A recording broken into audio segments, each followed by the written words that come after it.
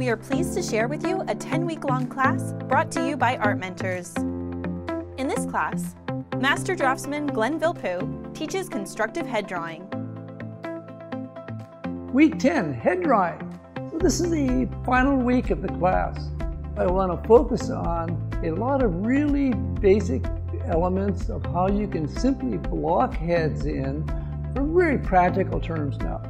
A very, very, very simplified constructed heads along with more discussions about expression. Okay, let's do it. We've just launched a totally redesigned website that makes accessing our amazing library of master art instruction easier than ever before. Join us today and get your first 10 days free. So what are you waiting for? Get 10 days free at nma.art today.